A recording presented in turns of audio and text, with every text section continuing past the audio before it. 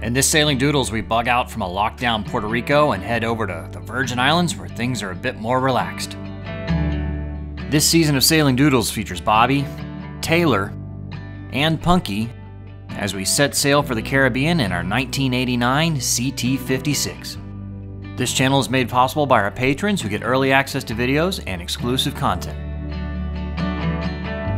In the previous video, Taylor got a tattoo, and then we took you on a tour of Old Town San Juan, Puerto Rico. On March 15th, Puerto Rico's governor issued a mandatory island wide curfew that was later changed to 7 p.m.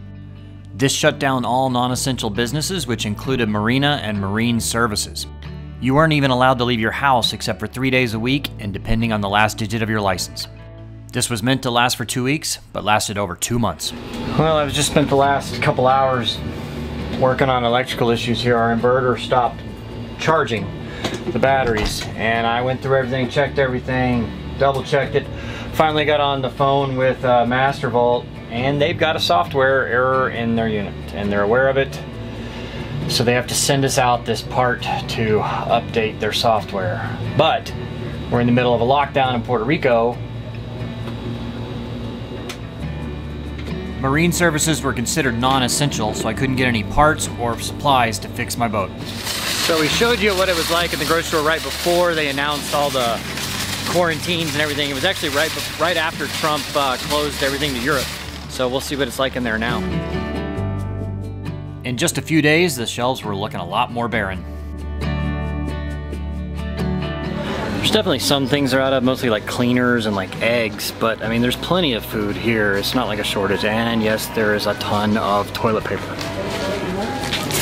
It's been crazy how fast this has all escalated. Like, we started out the one day just doing some basic provisioning when uh, when the U.S. had announced that they were closing their borders to Europe, and now Puerto Rico is actually fully on lockdown. Yeah, so Puerto Rico, and it's a bit.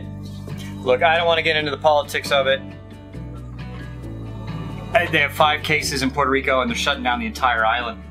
Uh, you know, no works. You, the only things that are open are gas stations and grocery stores and banks and pharmacies.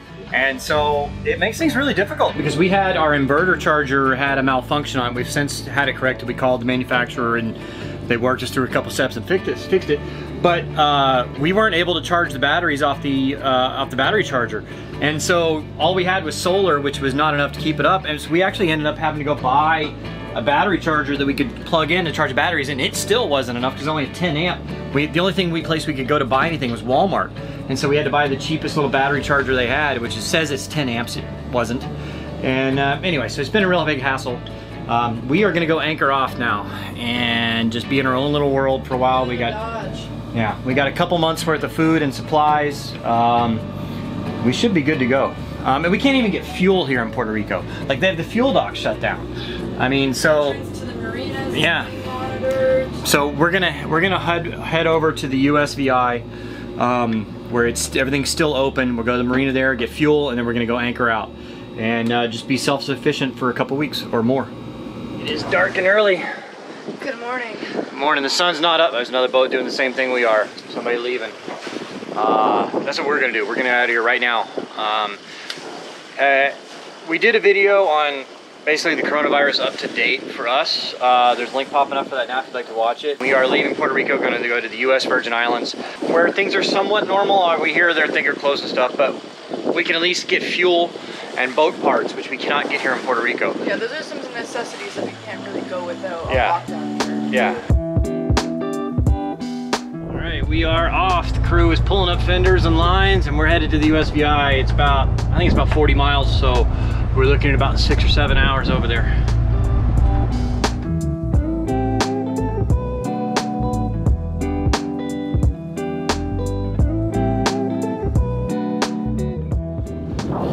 Well, unfortunately, we're heading straight into the trade winds today. We I can already see Culebra out there. It's the island in the distance. We're gonna head just to the south that head to St. Thomas, um, where we're gonna get fuel at Crown Bay Marina, and then we'll go anchor out. Um, our friend Steve and Loretta that you met um, in the Mediterranean are there, so uh, we're gonna kind of quarantine from each other until the weekend because they just flew in on Monday, and it's just the safer thing to do. At this point, I wasn't actually sure if we were allowed to leave, but we left at dawn anyway.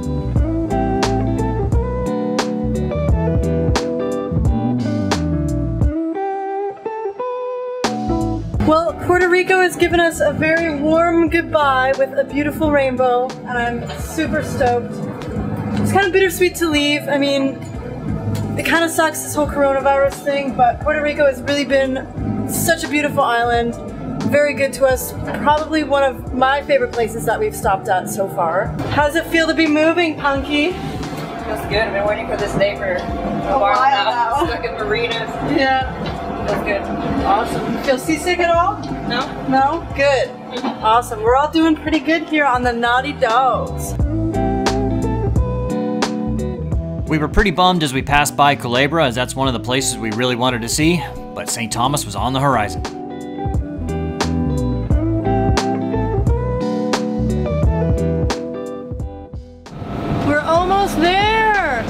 We are only a couple miles out from arriving in St. Thomas. Uh, we're just gonna go into the marina to fuel up, and then we're gonna be anchoring out. Our friends Steve and Loretta are supposed to be in this bay. They were coming to check it out earlier to see if there's enough room. If not, then we're gonna go wherever they ended up, maybe St. John or something. So we'll check it out, do a little drive-by, and then head up to uh, Crown Bay Marina, get fueled, and maybe come back. So we swung by the bay on the way up to get fuel. Social distancing! Yeah, right? we need to keep our distance from you. So everybody has the same idea we have. Everybody wants to get fuel before they shut everything down. There's another boat out here waiting. There's a couple boats inside already getting fuel. And so there's a queue to get fuel. Well, uh, convenient timing. Just upon our arrival to the fuel dock, we got absolutely poured on. Everything's soaked. But uh, at least we're getting fuel. Yeah, I'm gonna wait. I was gonna try to do this, but I'm gonna wait. I don't want to get water in the tank, so I'm gonna wait till it stops raining. After fueling, we headed back down to Druif Bay.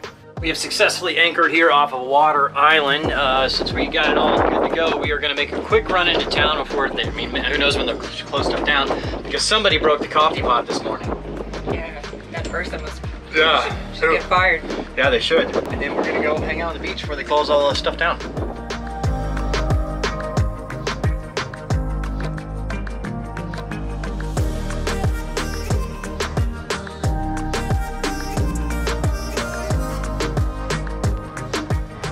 Place is really well stocked.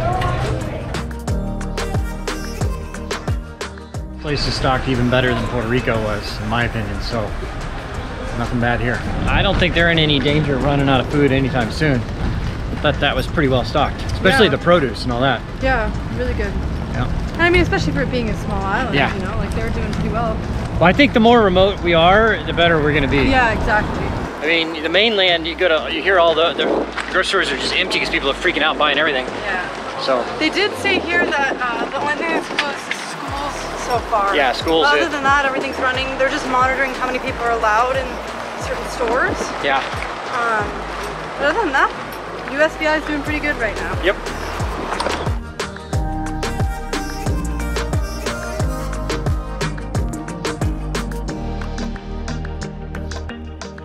We dropped the groceries off at the boat and then headed to the beach.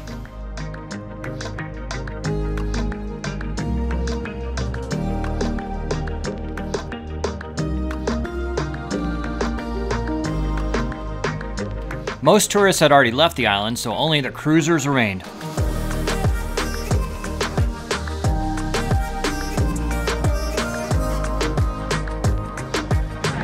All right, so we are social distancing. There you go. All right, guys. Yeah. We're Respecting the quarantine laws. Hey, it's a we're quarantined, but hey, it's a good place to be.